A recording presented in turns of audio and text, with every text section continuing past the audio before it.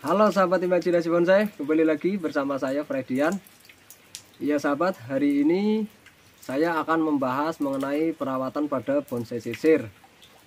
Karena ada dari sahabat kita yang request minta dibuatkan pembahasannya mengenai perawatan pada bonsai sisir, yaitu terutama pada akar. Iya sahabat, mari kita lihat dulu pohonnya. Nah inilah pohon sisir yang saya punya. Namun dengan kondisi ala kadarnya ya sahabat karena ini dari hasil dongkelan jadi kalau buat pohon dongkelan itu pasti selalu ada kekurang puasan terhadap bagian-bagian tertentunya biasanya ya sahabat. Ya kalau di sini saya merasa kurang puas saja terhadap bagian akar. Ya karena kita juga sudah susah untuk mengatasi supaya lebih bagus namun tetap ada cara. Itu ya setidaknya sedikit kita buat agak bagus dengan kita tambah-tambah batu karang seperti ini ya sahabat Nah, ini sisir sudah saya proses ya ya lumayan lama namun tidak lama banget karena dulu diproses dalam ground ya, masih dalam ground. Jadi tidak lama banget. Karena sisir kalau di pot masih proses penyeimbangan pada cabang, nah itulah yang akan lama.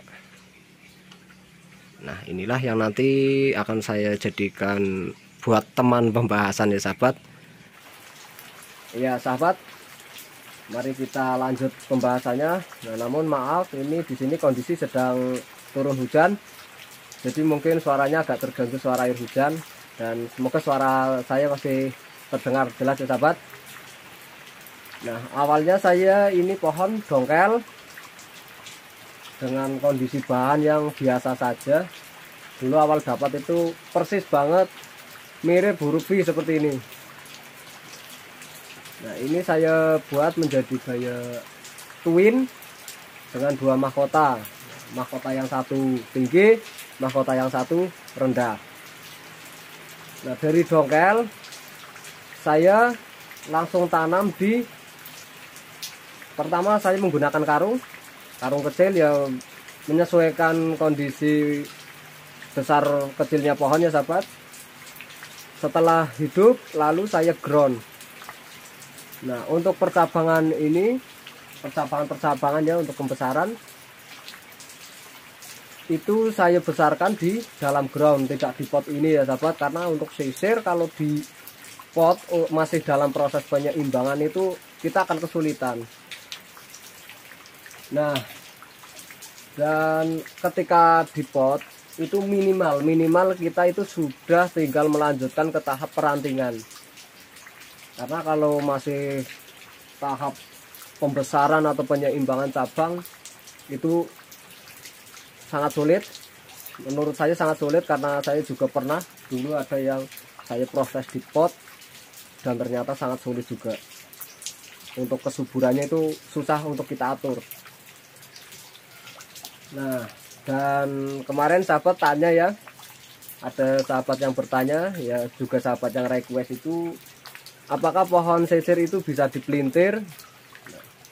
Jawabannya bisa, namun dengan kondisi juga masih ukuran yang kecil ya sahabat, kalau sudah besar, untuk sisir sebenarnya ristan, ristan kulitnya itu biasanya ada mati, namun sih biasanya tidak mati semua, namun ada yang mati sebagian. Nah dulu karena saya sempat praktek tapi untuk saya gagal. Namun kalau ukuran kecil yang penting tidak terjadi pemecahan fatal pada cabang itu sebenarnya bisa. Iya sahabat. Nah kita lihat. Nah inikah pohon yang saya pelintir ya? Nah jadi kalau sahabat tanya apakah pohon sisir itu bisa dipelintir cabangnya bisa menurut saya sih sebenarnya untuk semua pohon itu bisa. Ya, ya tergantung kondisinya itu kita mau pelintir dengan ukuran yang seberapa. Kalau masih kecil menurut saya semua pohon itu bisa. Jadi kalau sahabat punya pohon pohon sisir ya tentunya yang karena yang kita bahas sisir kalau mau dilakukan pemelintiran yaitu sejak kecil ya sahabat sejak dini itu sudah dipelintir. Mungkin sahabat punya bahannya atau bibitnya. Nah itu ketika masih kecil langsung saja lakukan pemelintiran. Nah, dan setelah itu di ground atau mungkin kondisinya sudah di ground nah itu malah bagus. Karena kalau sudah besar itu saya dulu pernah praktek dan mencobanya ya. Ternyata terjadi kulitnya itu ngelupas terkena bekas kawat itu ada yang ngelupas kok malah busuk semua akhirnya mati. Nah jadi rekomendasinya yaitu dari kecil kalau untuk besar saya tidak bisa merekomendasikan karena saya mencobanya gagal jadi saya tidak merekomendasikan. Namun kalau sahabat sudah punya pengalaman atau mencobanya dan berhasil nah berarti itulah terpentingnya main bonsai ya seperti itu. Kita harus berani mencoba. Nah untuk mengenai akar ya karena sahabat kemarin juga request mengenai akar perawatan pada akar. Nah awal kalau untuk lebih aman untuk pengangkatan Nah misal di ground mau kita pindah ke dalam pot. Nah itu kita lakukan pemangkasan pilih pada akar yang besar. Nah misal terjadi akar besar seperti ini Sebelum kita masuk dalam pot ya kita angkat ke pot. Kondisi masih di ground Nah sebentar saya geser gunting dulu kita pangkas akar. Ya hampir mirip sistem cangkok akar dulu lah ya. Jelasnya seperti itu. Setelah ya beberapa ada beberapa. Misal kondisi akar besar ada tiga. Misal satu ini satu ini dan satu ini. Dan masih ada sisa akar-akar yang kecil. Nah yang kita pangkas yaitu yang besar. Ya. Nah namun jangan dipangkas semua pangkas yang besar bisa tiga atau berapa.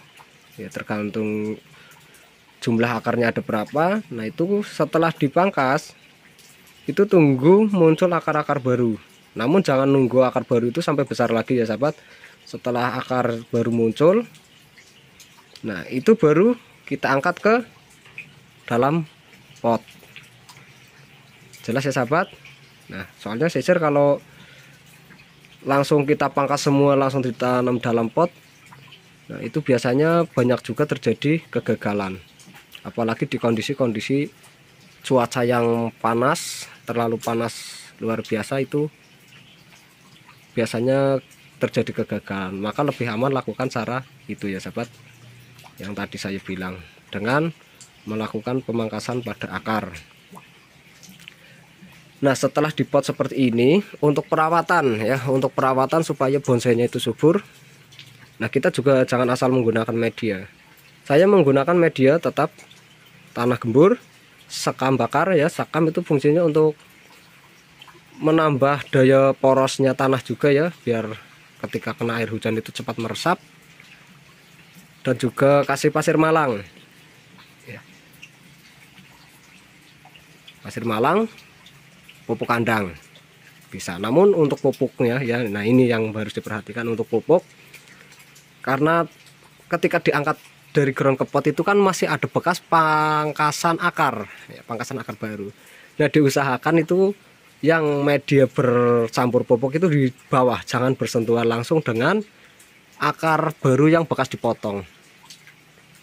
Nah karena kalau biasanya kalau terkena di akar baru yang bekas potong itu kan ya namanya pupuk kandang atau media tanam itu pasti kan ada banyak bakteri.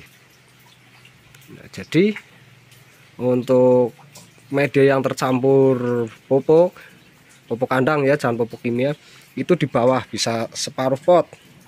Baru kita lapisi pasir malang taruh pohonnya kita timbun dengan media yang hanya campuran dengan pasir malang dan tanah biasa sama sekam bakar Nah kalau sekam bakar aman karena itu sifatnya bukan pupuk.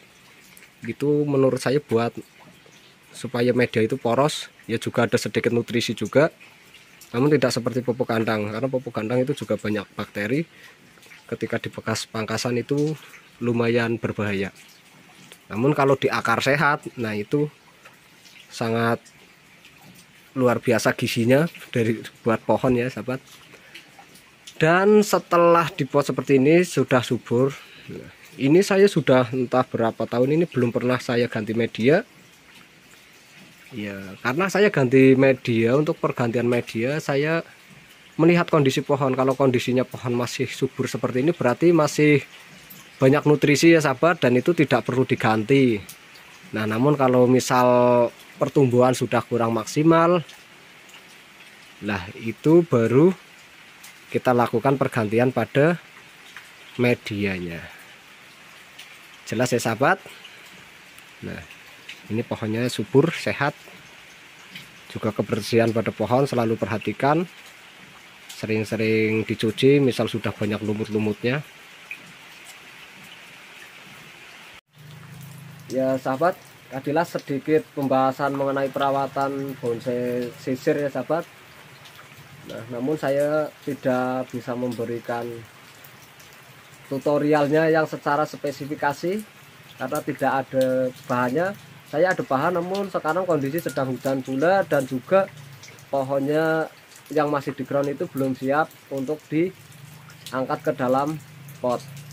Nah, mungkin di next video berikutnya nanti kalau itu pohon sudah siap pasti akan saya buatkan tutorialnya yang lebih spesifikasi. Nah, jadi saya hanya bisa pembahasan ya seperti tadi yang sudah saya bahas. Namun semoga bisa sedikit memberi manfaat buat sahabat semua. Tentunya yang masih belum paham atau masih bingung cara penanganan bonsai sisir. Ya sahabat, mungkin videonya sampai di sini dulu. Dan bisa kita lanjut lagi di next video.